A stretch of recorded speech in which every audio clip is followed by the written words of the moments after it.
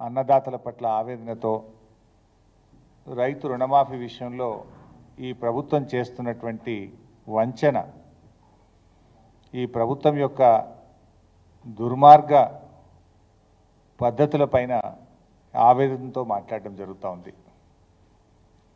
నిన్న రైతు సురేందర్ రెడ్డి గారు రుణమాఫీ జరగలేదని ఆయన ఆత్మహత్య చేసుకున్న విషయం మనందరికీ తెలుసు. ఆత్మహత్య కూడా ఎక్కడ చేసుకున్నారు ఆయన? మేడ్చల్లో వ్యవసాయ శాఖ కార్యాలయం ముందు చెట్టు కూరేసుకొని చనిపోయారు. అంటే తొమ్మిది నెలల కాంగ్రెస్ పార్టీ ప్రభుత్వ పాలన రైతుల పాలిట యమపాశంగా మారింది. దానికి సాక్ష్యం సురేందర్ రెడ్డి గారి ఆత్మహత్య. సురేందర్ రెడ్డి గారు తన ఆత్మహత్య ప్రెస్ నోట్లో చాలా స్పష్టంగా ఆయన రాయడం జరిగింది. ఆయన సూసైడ్ నోట్ ఒకసారి చూసినట్టయితే బ్యాంకు పాస్బుక్ మీదనే ఆయన సూసైడ్ నోట్ కూడా రాశారు. ఇందులో చాలా స్పష్టంగా రాశారు ఈ సూసైడ్ నోట్లో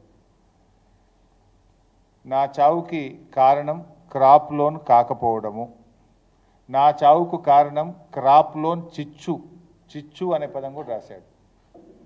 అంటే ఆయన తల్లిగారికి ఆయనకు ఇద్దరూ ఒకే రేషన్ కార్డులో ఉండడం వల్ల రుణమాఫీ కావడం లేదు అని ఆవేదనతో రాశారు. ఇందులో కూడా రాశారు నా చావుకు కారణం మా అమ్మ అని కూడా రాశాడు. ఎందుకంటే అమ్మగారి క్రాప్ లోను ఆయనకు క్రాప్ లోన్ ఇద్దరికీ క్రాప్ లోన్ ఉంది. ఇద్దరికి కలిపి ఒకే రేషన్ కార్డు ఉండడం వల్ల బ్యాంక్ మేనేజర్ దగ్గరికి వెళ్తే మీది జాయింట్ ఫ్యామిలీ రేషన్ కార్డులో మీ అమ్మ నువ్వు కలిసి ఉన్నావు కనుక ఒకరికే రుణమాఫీ అవుతుంది అన్నారట. వారి తల్లిగారి పేరు సుశీల. సో సుశీల గారి పేరు మీద రెండు ఎకరాల పాస్బుక్ ఉన్నది. వాళ్ళ అమ్మగారికి లక్ష పదిహేను వేల ఆరు వందల అరవై రెండు రూపాయల లోన్ ఉంది. అదేవిధంగా సురేందర్ రెడ్డి గారికి నాలుగు ఎకరాల భూమి ఉంది. ఆయన పాస్బుక్ మీద ఒక లక్ష తొంభై రెండు వేల నాలుగు వందల నలభై మూడు రూపాయల రుణం ఉంది. ఆయన ఒక నాలుగు రోజుల క్రితం సురేందర్ రెడ్డి గారు బ్యాంకుకు వెళ్ళారు. ఏపీజీవీబీ బ్యాంకులో ఆయనకు రుణం ఉంటే బ్యాంకుకు వెళ్ళి మేనేజర్ గారిని అడిగారు.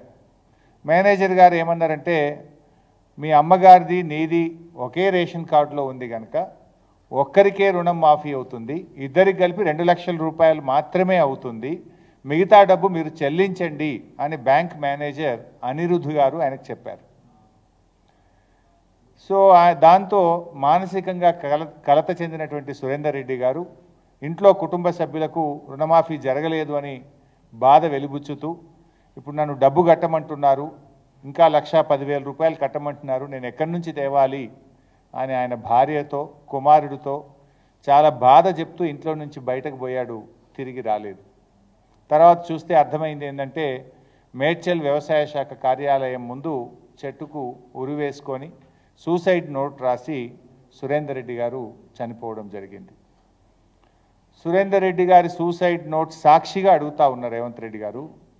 నువ్వే చెప్పినావు కదా పంద్రా ఆగస్టు నాడు ఖమ్మంకు పోయి రైతులకు రుణమాఫీ అయిపోయిందన్నావు కదా అయిపోయిందా? మరి అయిపోతే సురేందర్ రెడ్డి గారు ఎందుకు ఆత్మహత్య చేసుకున్నారు? మీరే చెప్పిండ్రు కదా రేషన్ కార్డుతో లింకు లేదు అని నువ్వు చెప్పినావా లేదా? నేను రుణమాఫీ గైడ్ లైన్స్ వచ్చిన రోజే అసెంబ్లీలో ప్రెస్ మీట్ పెడితే నేను ప్రెస్ మీట్ పెట్టిన కొద్ది గంటల్లోనే ప్రభుత్వం నుంచి నోట్ వచ్చింది. ఏమని? రుణమాఫీకి రేషన్ కార్డుతో లింకు లేదు అన్నారు. కానీ లింకు ఉన్నది.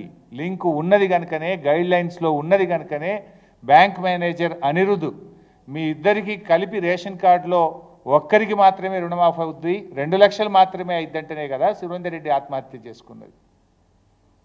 అంటే ప్రభుత్వం చెప్పుతున్న మాటలకు చేతలకు పొంతన లేదు అని చాలా స్పష్టంగా మనకి ఈరోజు అర్థమవుతా ఉంది. రుణమాఫీ లబ్ధిదారులను ఆంక్షల పేరుతో నువ్వు పన్నిన పన్నాగం ఇవాళ రైతుల మెడకు ఉరితాడైంది. నువ్వు రాజకీయంగా బ్లఫ్ చేద్దామనుకున్నావు. నీ బ్లఫ్కు మూల్యం ఇవాళ సురేందర్ రెడ్డి గారి చావు సురేందర్ రెడ్డి గారి మరణం. ఇవాళ సురేందర్ రెడ్డి గారి లెటర్లోని సూసైడ్ నోట్లోని ప్రతి అక్షరం నీ దురాగతాన్ని నీ రాజకీయ దివాలా కోరుతనాన్ని నీ నగ్న స్వరూపాన్ని ఇలా బజార్లో నిలబెట్టిందని చెప్పక తప్పదు. ఈ సూసైడ్ లెటర్ నీ తొమ్మిది నెలల దుష్ట పాలన మీద తెలంగాణ రైతులు రాసిన పంచనామా ఇది. ఇలా నీ నీ పాలనలో ఈ రోజు వరకు రాష్ట్రంలో నాలుగు వందల డెబ్బై ఐదు మంది రైతులు ఆత్మహత్య చేసుకున్నారు. నువ్వు గతంలోనే అడిగినావు లిస్ట్ ఉంటే పంపండి అన్నావు. గంట సేపట్టే నీకు లిస్టు పంపిన. కానీ ఏ ఒక్క రైతును కూడా మీరు ఆదుకోలేదు. ఎందుకు జరిగిందో కూడా మీరు ఈరోజు వరకు ఈరోజు చెప్పినటువంటి పరిస్థితి లేదు.